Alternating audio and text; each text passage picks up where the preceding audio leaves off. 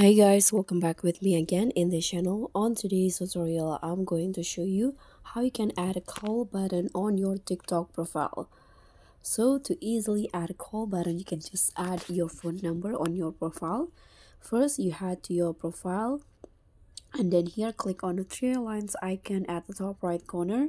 You can go to the settings and privacy first, then click on account so to be able uh, to add a phone number, you need to switch your personal account into business account. And after uh, to do that, you can just tap on this switch to business account and just wait until TikTok processing it. Click on next. And here you can choose a category for what category uh, your business is so for example i'm going to just go with uh travel and tourism. For example just click on next.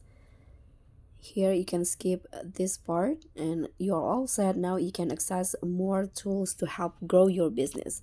So to add a call button you just need to click on this edit profile on your uh, tiktok profile and then just scroll down and in here under the business information you'll see action buttons.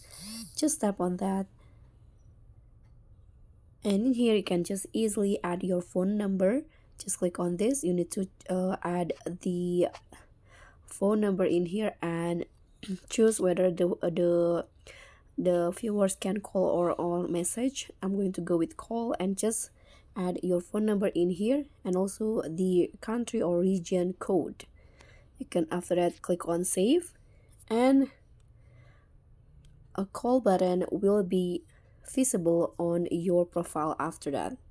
So that's pretty much all. Thank you so much for watching. Don't forget to like comment and subscribe. Also click on the thanks. Bye